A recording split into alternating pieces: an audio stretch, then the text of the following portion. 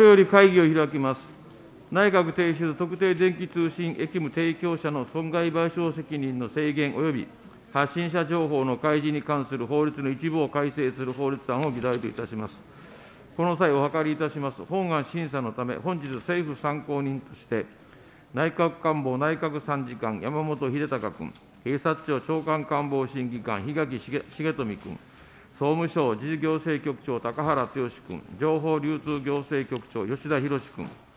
総合通信基盤局長、竹内義明君、法務省大臣官房審議官、堂園寛一郎君、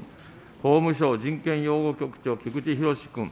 出入国在留管理庁出入国管理部長、丸山秀治君、